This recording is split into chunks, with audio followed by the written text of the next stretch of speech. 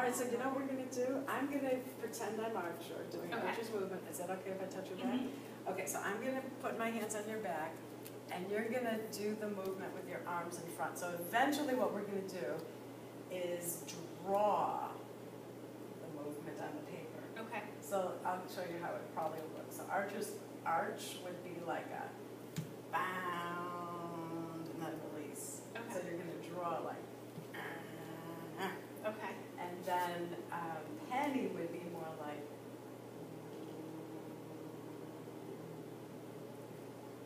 Okay. All right, so I'm gonna do it on your back first, and then we'll do it on the paper. Okay.